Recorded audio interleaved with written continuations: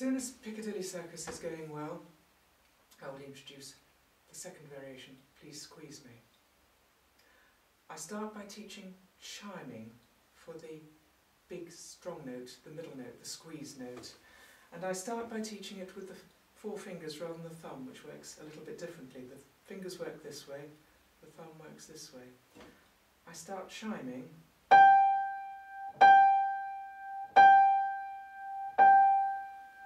Big, long, repeated notes.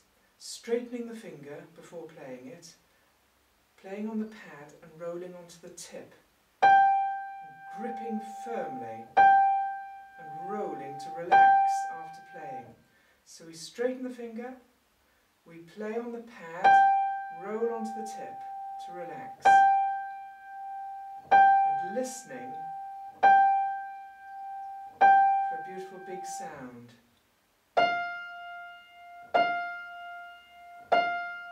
Walking in little tiny steps inwards. Like a little caterpillar at the end of the fingertip. The thumb, it's still a matter of using this bottom joint on the thumb. Straighten the thumb and grip.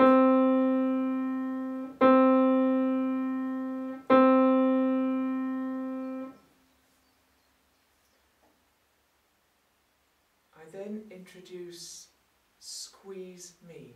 So we have one of the big squeezes that we've just been practicing with our chiming. And then we have a very small sound, which is just a pick of Piccadilly Circus that we've already learnt. For the big sound, we want to lift the fingers well. The bigger the sound, the more lift. Grip and roll.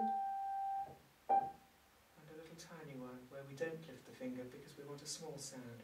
Ready and ready and playing very near the black notes, particularly with the three long fingers, fingers three, two, three and four. Keeping the wrist up, not allowing the wrist to drop. Keeping the elbow relaxed. Ready and waiting each time for the teacher or the parent to say the ready and and lifting the finger on the and. Ready and and getting ready quickly for the next note. Ready and ready with a twinkle hand here, not a hand stretched out. A relaxed hand is like that with the thumb more or less immediately underneath the second finger. That is not very relaxed. There's a relaxed finger. I've played a relaxed hand. I've played finger two. Um, I take the whole hand down. I don't stretch the thumb out. Ready and I take the whole hand down. Ready and after teaching squeeze me, I teach please squeeze. One little tiny one and a big one. A little one. Get ready quickly for the next note. Ready and and the getting ready is only a little tiny stretch. I don't want to lift high for the first note because it's going to be very soft. Ready and but I'm going to lift high for the second note because it's a big one. Ready and and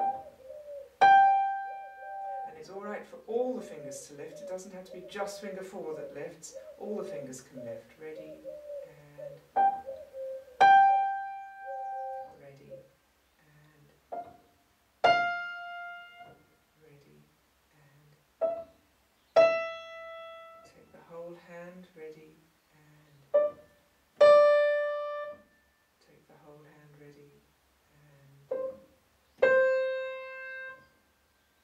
Next I will teach. Please Squeeze Me, a little tiny one, a big singing one, and a little tiny one. Move quickly to get to the next note. In this case, very near the black notes with finger three, uh, with finger four. Ready, and get ready quickly, ready, lift on the and,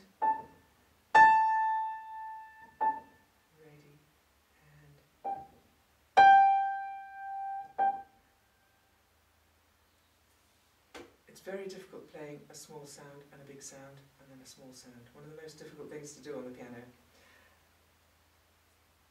I will at some stage set the child to play just the small ones, the please and the me, without the squeeze in the middle. We will practice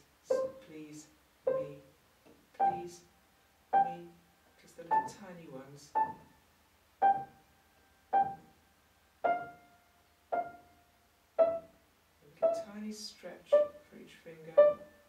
A lovely relaxed twinkle hand. And then I will also again set just the chiming. So we get used to the big sounds.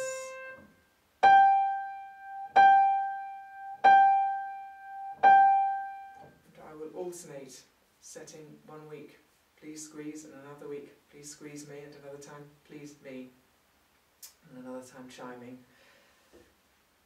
When, as each of those little elements, please squeeze, squeeze me, is learnt and understood a little bit in the right hand, then I will immediately introduce it in the left hand.